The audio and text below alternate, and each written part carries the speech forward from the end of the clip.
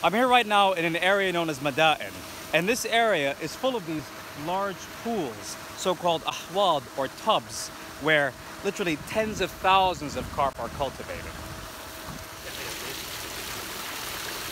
So these are basically still quite small, of course, and it'll take some time for them to grow, clearly, uh, months it seems. Um, so they were brought from the hatchery, al-matqas, put in this pool where they'll hang out for a bit before being transferred to the bigger pool over there.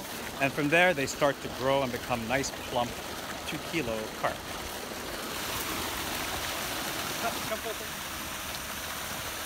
So, there's something really satisfying about this, I have to say.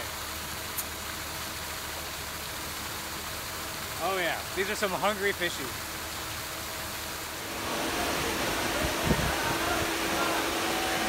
I'm here right now in Alwit Samak, the fish market.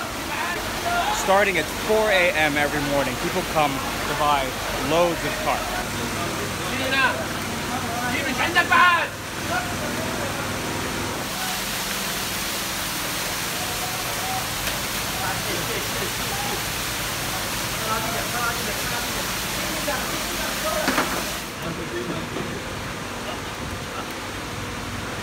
Holding them is not easy. One side the tickle. Oh, good. Got it. So, yeah. Oh. Anyway. It is very tasty for all that.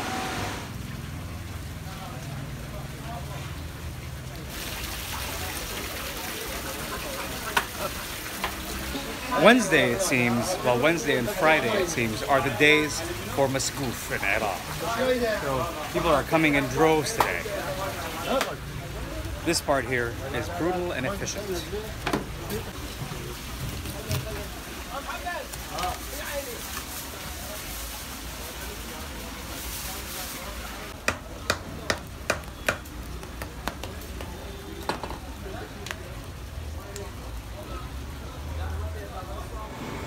the purists will tell you that you should be using a certain kind of wood to cook the masgoof.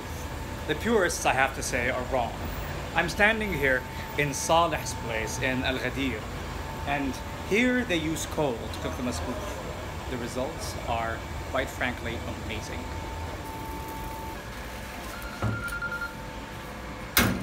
Oh yeah. And now, the moment of truth.